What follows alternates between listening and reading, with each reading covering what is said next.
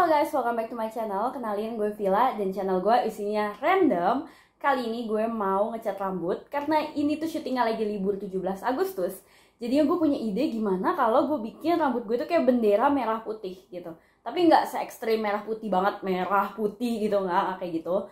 Kayaknya kita lihat kan akhir-akhir ini lagi ada tren yang ngecat poni tuh depannya doang kayak gini kan. Kayak Jennie Blackpink. Nah, nanti niatnya mau ini tuh warna putih jadi ini bakal gue bleaching nih poni gue. Terus sisa rambutnya tuh bakal gue cat merah tapi merahnya itu gak yang merah nyala. Cobain si Garnier Color Natural yang Ultra Color ini.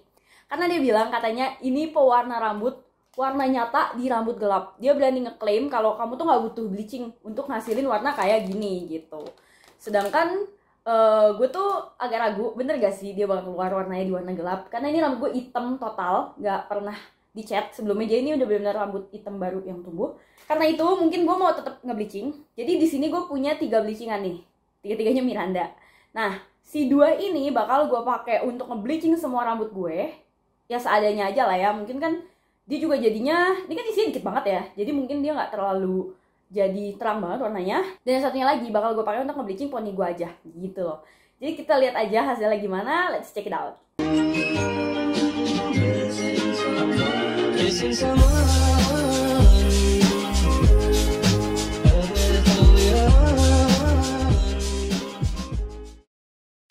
sini gue juga udah siapin ada dua mangkok gitu. Jadi nanti pewarna sama si bleachingannya tuh beda, beda mangkok. Di sini ada sisir juga. Gue nggak tahu sih dapat sisir atau enggak nantinya di dalam situ. Dan ada ngegun ada gunting buat buka kemasannya. Terus di sini juga ada aluminium foil. Nah, dia tuh gunanya untuk Nah, di sini juga ada aluminium foil gunanya itu untuk uh, bleachingan yang diponi. Nanti bakal gue tutup. Oke, kita lihat aja lah ya gimana. Gue bukan expert dalam bidang perbleachingan, jadi di sini juga murni coba-coba aja. Mumpung lagi WFH gitu kan, lagi gak ketemu orang berapa bulan nih. Jadi why not? Cara pakainya, wah ini isinya cuma dua nih, isinya cuma bleaching powder sama si developer bukan ya color developer. Cuma dua ini doang. Oke gue baca. Cara penggunaan. Campur bubuk bleaching dan developer cream dengan perbandingan satu banding satu. Ya udah berarti habisin semuanya dari situ. Maksimum selama 45 menit. Jadi nggak boleh lebih dari itu. Mungkin nanti rambutnya rusak. Alright. Kita campur aja. Siap-siap baunya.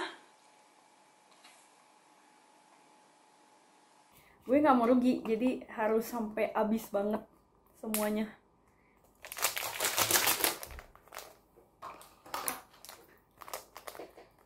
gunting developernya. Jadi bener-bener ya ternyata kalau kalian pakai bleachingannya si Miranda ini at least siapin sarung tangan kalau emang bener-bener pakai tangan atau pakai semir gitu. Karena dia nggak nyediain. Satu lagi guys.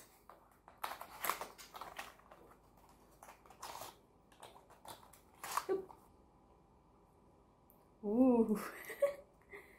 Lancar keluarnya Nih guys, jadi kayak gitu.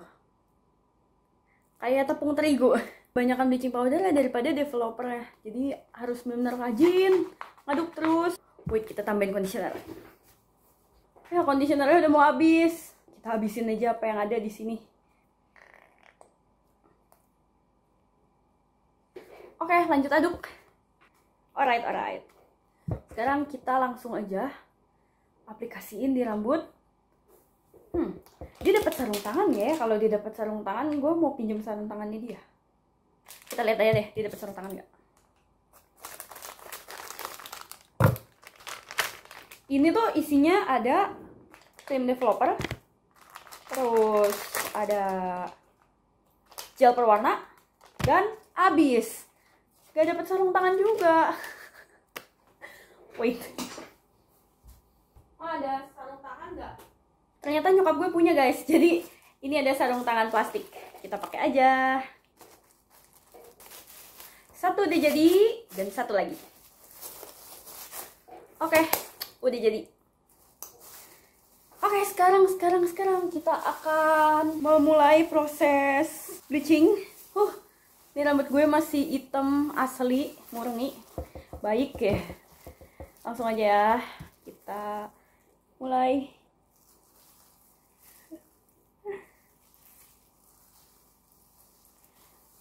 dapat gak ya semuanya? Cukup gak ya kira-kira? Kalau nggak calon-calon gue bikin setengah-setengah nih setengah hitam setengah putih. Dia tuh padat banget gitu teksturnya tuh kayak lihat deh. Jadi bukan yang cair gampang diaplikasikan? Oh. Sebenarnya kalau jadinya nanti kayak tipis-tipis gitu ya nggak nggak bener-bener yang kayak rata merata semua it's okay juga sih. Karena kan nanti bakal dicat lagi jadi merah. Mana ini kan luarnya doang ya? Sisi dalamnya belum. Sini dulu deh biar rata deh. Hmm, baunya. Baunya pusing. Ke belakang juga. Yang bikin gak tahan tuh baunya aja sih. Nyengat banget. Ingat banget. Parah pokoknya asal kena tipis-tipis aja ya. Karena tadinya tuh sebenarnya gue nggak mau bleaching sama sekali rambut total kayak gitu. Cuman daripada sayang warna merahnya nanti nggak keluar jadi mendingan kita bleaching dikit. Soalnya guys rambut gue ini kan sebenarnya tebel banget ya. Jadi dia tuh kalau nggak di apa-apain bener-bener murni rambut aslinya. Saking gimana ya lawannya kering gitu. Lebat gitu dan kadang malah berminyak gitu loh lepek Padahal gue tuh tiap minggu pasti kerimbat. Udah gitu keramas juga rajin bisa setiap hari atau dua hari sekali. Tapi tetap aja lepek. Jadi gue pikir ya it's okay juga kalau emang harus di bleaching karena rambut gue bakal tahan. Gak yang tipis cepat rusak gitu. Ini dua bleachingan jadinya cuma segini nih. Udah abis. Lu tau gak sih? Gue tuh kayak orang yang syuting di film salju-salju gitu yang dingin-dingin terus kayak kena salju terus kayak rambut gue isinya salju semua. Nah, masih ada kita manfaatkan semuanya yang tersisa. Mana yang belum ya? Um, nem nem. Sini kali. Yuk sekarang sih tekstur rambutnya keras. Keras gitu. Tapi kalau udah dikasih air kita lihatnya nanti. Bagian dalam masih hitam banget normal bolong jempol gue. Kayak ini gara-gara kukunya ketajaman deh. Yuk masukin lagi. Dah jamin dulu.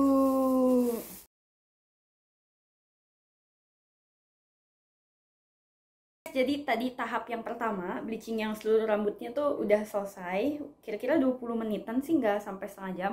Habis itu gue bilas sekarang lagi diandukin dan mungkin mau gue keringin dulu pakai hair dryer. Kita lihat ya Tara rambutnya hitam. Dia nggak gitu ini ya lihat deh. Alright. Jadi kayak ada a glimpse of coklatnya tuh dikit-dikit gitu loh. Aduh berantakan. Kayak highlight doang gitu loh nggak ngerata. Kayaknya emang Miranda gitu gak sih? Apa emang gue nya aja? Nggak apa-apa. Cuma nggak apa sih kayak gini-gini. Kayak kena-kena cahaya gitu kan. Lihat deh di sini sininya di sini sini aja. Nanti kan bakal ditimpa warna lagi. Oke. okay. Oke okay guys jadi ini udah selesai gue keringin rambutnya. Kalian bisa lihat tuh. Yang ke warna itu di sisi sini sama di sisi sini. Bawahnya itu masih hitam ada sih dikit-dikit warnanya ya kan? Jadi nggak bener-bener kena semua cuman ya kayak highlight gitulah highlight asal-asalan. Tahap selanjutnya adalah gue mau nge-bleaching si poni jadi depannya. Caranya gue mau ikat rambut dulu. Kita ikat pakai karet pasar.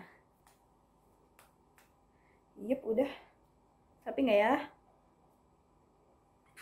Udah lah ya. Terus kita coba ambil poni-poninya nih.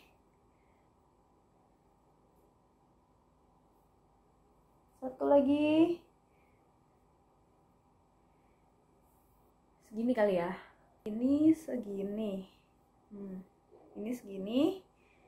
Terus ini juga segini. Oke ya. Jadi nanti kalau kunci rambut tuh sininya warnanya bilang gitu. Apa dia nggak usah ya ini ya? Wait. ini.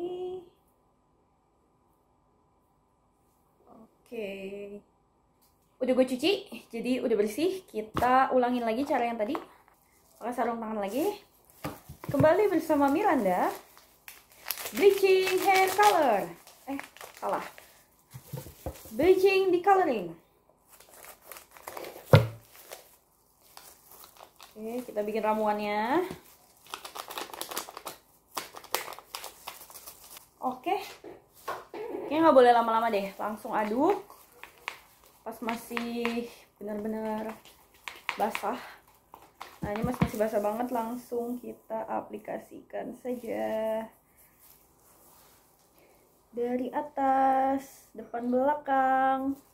Pokoknya gue mau ngabisin si bleaching satu kotak untuk rambut yang sedikit ini. Jadi nggak ada alasan warnanya nggak luntur. Langsung satu lagi biar warnanya merata.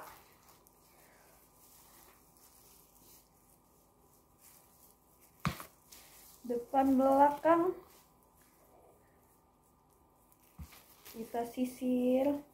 Hmm. masuk mata aja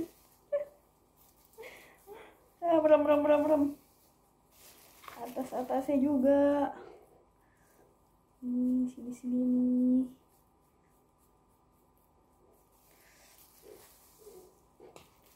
Sampai dalam-dalamnya juga. Pokoknya semuanya hanya untuk mufoniku lagi lagi dan lagi. Uh. Nah sisa sedikit ini mungkin mau gue tambahin ke yang masih masih hitam nih. Kayak di sini dia masih masih hitam kan. Tuh gitu. Sini juga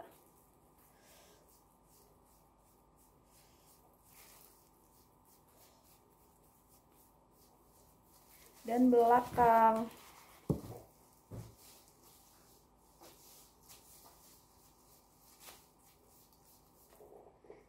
Sini ya. Sekarang gue mau pakai aluminium foil nih daripada dianggurin kan. Yip. Untuk ngebungkus si rambut ini yang poni depan. Oh, kayak susi kali ya kita kita taruh ini geser dulu hmm. here laying down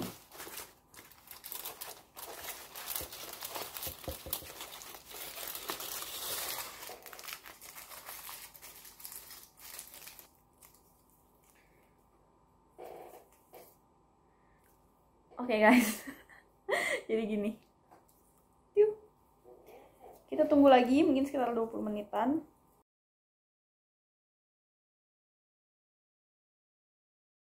Oke okay guys, jadi ini hasil bleachingnya udah gue bilas dan udah gue keringin juga pakai hair dryer. Kayak gini kira-kira.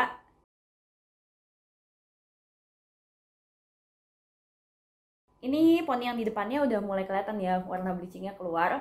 Nah di bagian belakangnya itu sengaja bawahnya kan tadi rambutnya gue kuncir jadinya hitam sekarang bleachingannya tuh ada cuma di atasnya doang. Kalau dulu sempet zaman ombre itu kan di bawah bleachingnya. Nah ini gantian bleachingnya di atas. Kayak gaya-gayanya Billie Eilish gitu. Nah di atas kan kalian bisa lihat ya ini memang gak gitu merata. Namanya juga bleaching sendiri. Tuh jadi di sininya ada yang ada warnanya, ada yang hitam. Di sininya juga kayaknya lebih banyak kan hasil bleaching di sisi sini deh daripada sisi sini. But it's okay karena kan nanti bakal diwarnain lagi sama si Garnier Color Natural yang warna cranberry red. Oke. Jadi pertama-tama kita kuncir dulu rambutnya. Caranya sama kayak tadi, kita harus misahin si poni sama rambut semuanya. Nah, sekarang kita ambil nih poninya sama kayak tadi. Yep.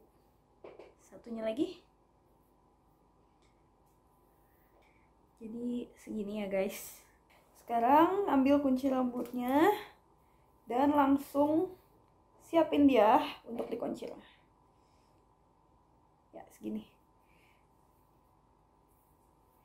Kita amanin dulu. Poninya kita amanin. Ya. Udah diamanin. Baru deh kita pakai sarung tangan baru. Ya. Pakai mangkok yang baru sisirnya juga udah dicuci. Hap. sekarang kita buka ini ya. Petunjuk penggunaannya gunakan sarung tangan campur gel pewarna dan developer ke mangkok non logam oke gitu aja sih. Kira-kira sama. Dikasih waktu 30 menit katanya. Uh bentuknya kayak gitu. Ini krim developer. Hmm kalau yang ini tuh wangi loh. Kayak gimana ya? Mungkin karena mereknya Garnier kan wanginya tuh kayak obat luka. Satu lagi. Langsung keluarin isinya. Gak ada apa-apa lagi sih. Wah warna yang ini lebih kuning loh. Wah beda. Kalian bisa lihat gak ada yang kayak mayones ada yang putih. Tadi warnanya nggak sekuning ini. Hmm. Kayaknya yang satu produknya udah lama nih. Tapi expirednya sih belum sih. 2023 tapi warnanya beda. Segitu. Apakah kualitasnya jadi beda. Karena yang satu gue belinya di Indomaret yang berbeda gitu. Yang satu Indomaret de dekat rumah barusan belinya. Yang satunya lagi semalam di Indomaret 24 jam.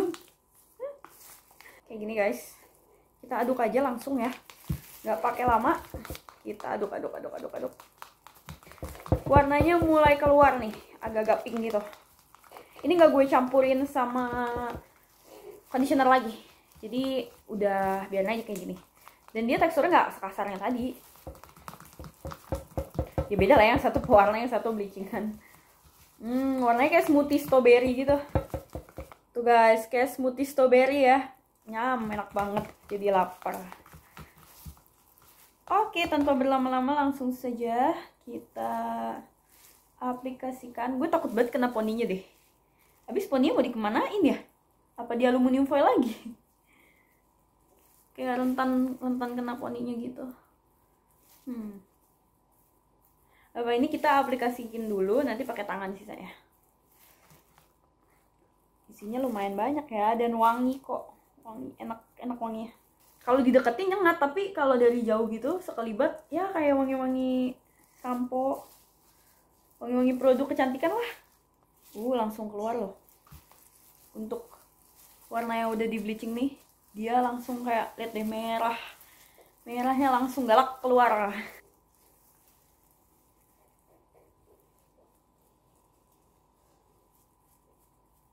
Tapi guys kalau untuk di kulit e, rambut gue ya maksudnya kulit kepala gue bleachingan yang tadi tuh nggak ngasih efek perih sama sekali. Di sini tuh sedikit sedikit kayak setitik-titik kayak agak-agak ditusuk-tusuk gitu rasanya.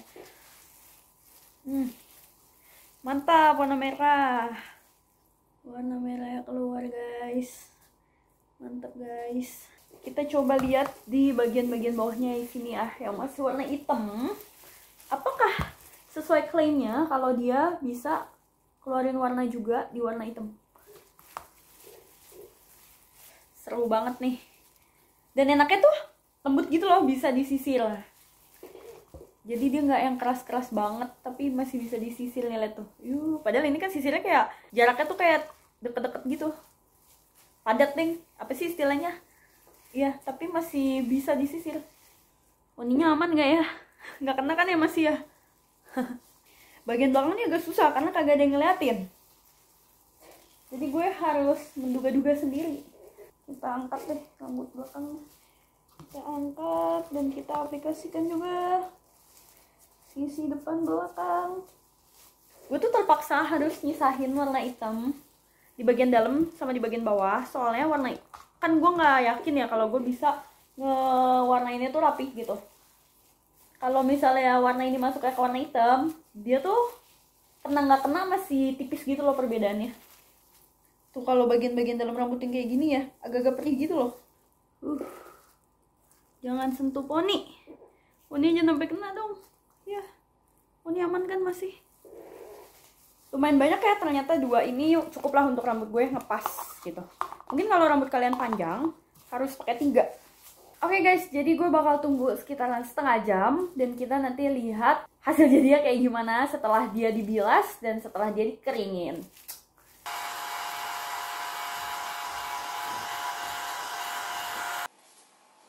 Tada! Udah jadi jadi jadi rambut gue tuh ada tiga warna. Yang pertama kuning. Niatnya kan mau putih. Sebenarnya putih bisa kalau di bleaching sekali lagi. Tapi nggak mau nanti rambutnya terlalu kering dan terlalu tipis. Terus yang kedua tuh warna merah. Nih ini udah diwarnain kan. Ada hasilnya warna merah. Dan yang bawahnya itu kelihatannya warna hitam. Tapi nggak tahu kalau di bawah sinar matahari. Soalnya katanya kan dia si ultra color Garnier itu bisa keluarin warna merah. Maybe di bawah sinar matahari kelihatannya merah juga.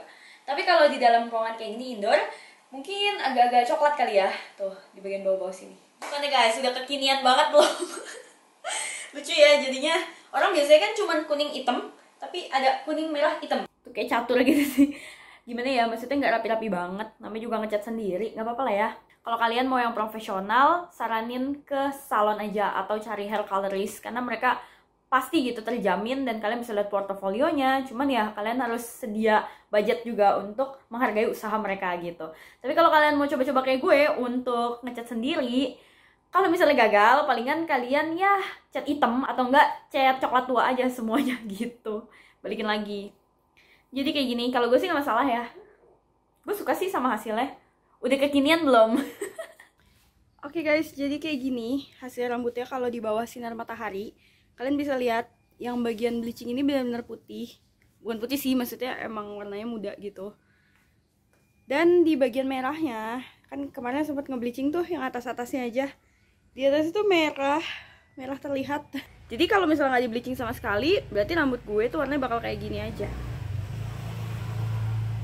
Karena itu supaya ada gradasi jadinya gue bikin lah atasnya di bleaching warnanya merah nyala dan di bawahnya itu merah tua gitu kalau kalian tanya soal kering atau enggak, pastinya kalau di bleaching tuh kering. Tapi kalau misalnya bagian bleaching yang ini, kan dia diwarnain lagi.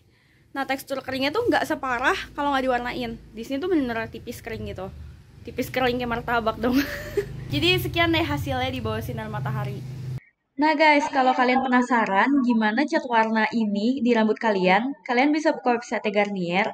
Di situ ada live try dan kalian bisa lihat nih di sini, apa yang mereka janjiin itu ada di sisi sebelah kanan dan apa yang udah gue coba ada di sisi sebelah kiri. Menurut kalian itu sama atau enggak? Kalau menurut gue, yang di bleaching itu sih hasilnya sama, tapi kalau rambut asli ternyata jauh lebih gelap rambut asli kita daripada yang mereka tampilkan di website.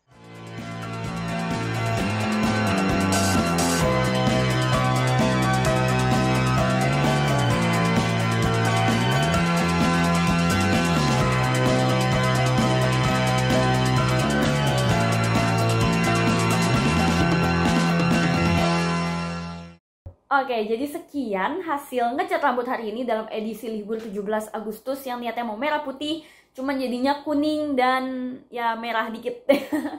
Gak apa-apa lah, tapi konsepnya yang penting ngerti kan. Gue juga mau ngucapin selamat hari kemerdekaan untuk Indonesia negaraku tercinta. Semoga tetap maju dari perekonomian, pariwisata, SDM-nya, semuanya yang terbaik untuk negara ini.